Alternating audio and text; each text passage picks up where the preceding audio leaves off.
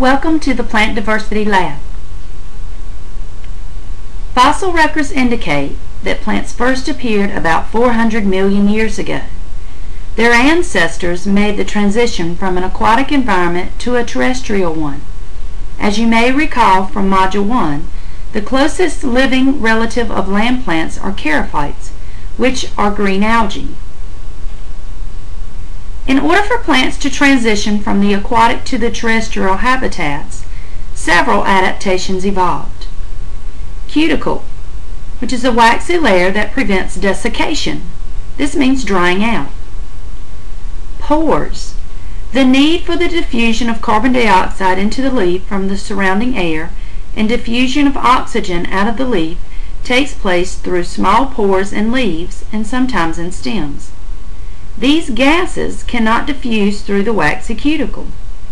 Stomata, the pores, are surrounded by two cells, which we call guard cells, regulate the opening and closing. These structures, stomata and guard cells, will be taken up later under plant structure. Next, a vascular system. The vascular tissue works to transport water and minerals from the roots up into the shoots and also transporting of sugars produced in the shoots down to the roots. Seeds. Seeds are protective structures for the developing embryo. As shown in this diagram, charophytes are the closest living relatives of land plants. Approximately 475 million years ago, stomata and cuticle evolved giving rise to non-vascular plants. Vascular plants occurred some 425 million years ago.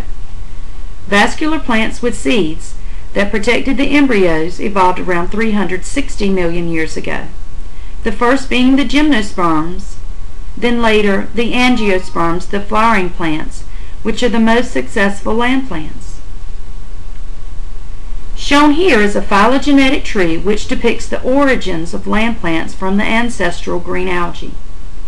We categorize land plants into non-vascular, the bryophytes, and the vascular, the tracheophytes. Examples of bryophytes are liver, liverworts, hornworts, and mosses, and tracheophytes are categorized into the seedless non-vascular plants, lycophytes and pterophytes, and then the seed vascular plants are broken down into the gymnosperms and the angiosperms. Before we begin our discussion on the life cycles of these plant groups, let's first take a look at how plants alternate between two separate bodies, one being haploid, the other diploid. We will discuss alternation of generations. Remember, only diploid cells can undergo meiosis. Meiosis occurs only once in the life cycle. Spores are produced by meiosis. Gametes are produced by mitosis, haploid cells dividing here. Fertilization is necessary to restore diploidy. Alternation of generations involves a haploid generation known as the gametophyte. The gametophyte produces haploid gametes by way of mitosis. The haploid gametes fuse, fertilization, and form the diploid zygote, which grows into the diploid generation, the sporophyte. The sporophyte produces haploid spores via the process of meiosis. These haploid spores reproduce by way of mitosis and grow into the next gametophyte generation. So here we have alternated between the haploid gametophyte and the diploid sporophyte generations. Bryophytes were the first land plants to evolve. So we take a look now at the non-vascular plants. Seedless, non-vascular plants. Examples of these would be mosses, liverworts, and hornworts. These lack vascular tissue they require water for necessary reproduction. Therefore, sperm must have a thin film of water to be able to be transported to the egg for the fertilization process. These plants reproduce by spores, so they do not produce seeds. And in the seedless non-vascular plants, my bryophytes, the gametophyte is the predominant stage. Let's take a look at alternation of generations within a moss. The life cycle of a moss alternates between a dominant haploid gametophyte stage, the male antheridium, and the female archegonium. Sperm and egg, the gametes, are produced in this stage. Fertilization takes place within the female gametophyte, the archegonium, and the diploid sporophyte develops.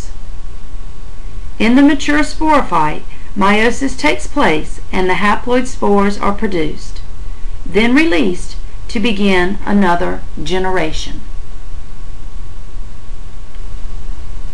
Here we see examples of bryophytes, mosses, where you can see the green tissue here is the gametophyte and the brownish stalk is the sporophyte. Here we see liverworts. This is the gametophyte stage, the dominant stage. And hornworts.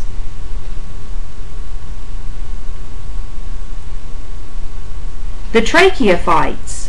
These plants have vascular tissue made up of phloem, and xylem. We begin our discussion of the tracheophytes with the seedless vascular plants.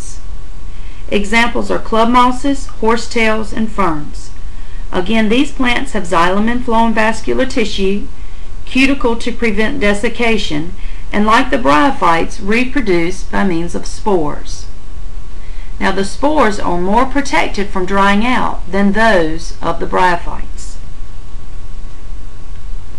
The life cycle of a fern alternates between a haploid gametophyte stage, the male antheridium, and the female archegonium, are both located on the same structure known as a prothallus.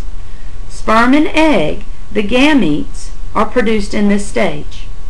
Fertilization takes place within the female gametophyte, the archegonium, and the diploid sporophyte develops, which is independent of the gametophyte unlike that seen in the mosses. On the mature sporophyte, clusters of sporangia develop. The cells undergo meiosis and produce the haploid spores. These are then released to begin the next generation. Seedless vascular plant examples here include club mosses, horsetails, Here's a cinnamon fern and whisk fern. And lastly here we see Selaginella.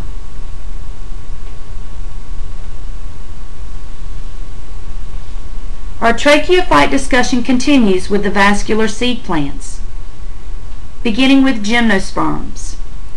Examples of gymnosperms include cycads, ginkgo, and conifers. These would be trees known examples like pine trees and firs. These would be my cone-bearing plants.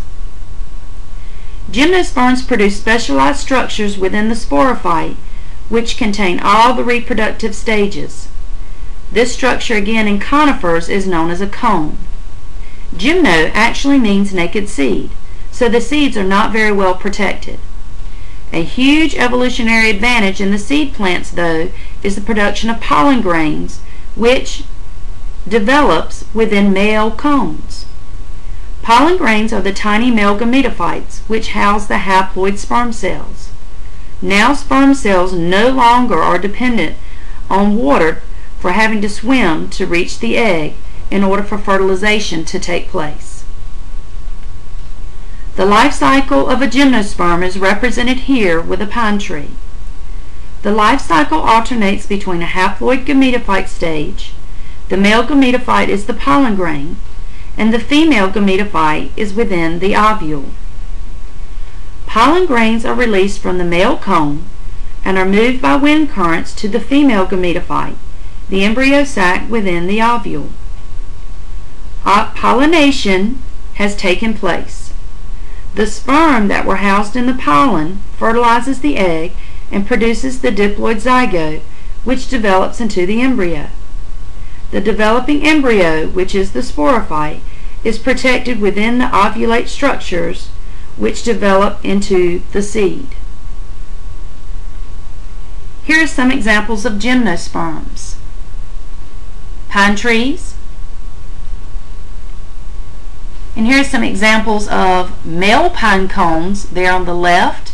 Male pine cones would produce the pollen, and then the female pine cones houses the egg, which after fertilization develops into the seed. Here are firs. Again, think Christmas tree like trees. These would be examples of gymnosperms.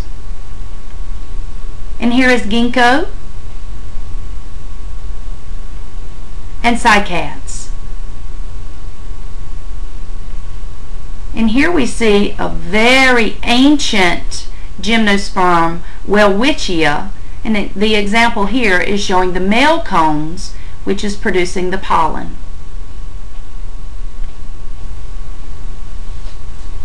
Now we move on to the most highly successful land plants, the angiosperms. These are the flowering plants, lilies and grasses and roses being examples. The flower houses the entire alternation of generations. The anther is the male sporophyte, where spores develop into pollen grains, the male gametophyte. Within the pollen, meiosis takes place to produce the sperm cells. The ovary is the female sporophyte, where spores develop into the embryo sac, the female gametophyte. Within the embryo sac, meiosis takes place to produce haploid cells, egg and two central cells. The event known as double fertilization takes place only in angiosperms. A diploid zygote and triploid endosperm is produced. The life cycle of an angiosperm. Here, the flower, in the angiosperm, the sporophyte generation is the only form that is clearly visible to someone observing a plant. The gametophyte generations are found within the flower itself. The pollen grain is a haploid microspore that develops within the anther of the stamen. Pollination involves the transferring of the pollen by wind, or insects, or birds, to the female reproductive structures. Within the ovule is the female gametophyte the embryo sac, which houses the haploid megaspore. Double fertilization involves the fusion of nuclei from one haploid sperm and one haploid egg to form the zygote, the young sporophyte.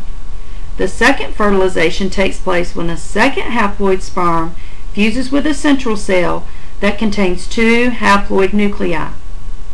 The result is a triploid cell that will continue to develop into endosperm which may become a food resource in the seed for the developing seedling after germination. Here are some examples of angiosperms. Here a lily. Grasses are, endosperm, or, are angiosperms, where in the seeds you have some of the endosperm being developed. Oak trees are also examples of angiosperms. Here acorns are actually the fruits which protect the seeds. And then the lotus flower. Those you will see like um, in water gardens and in lily pads.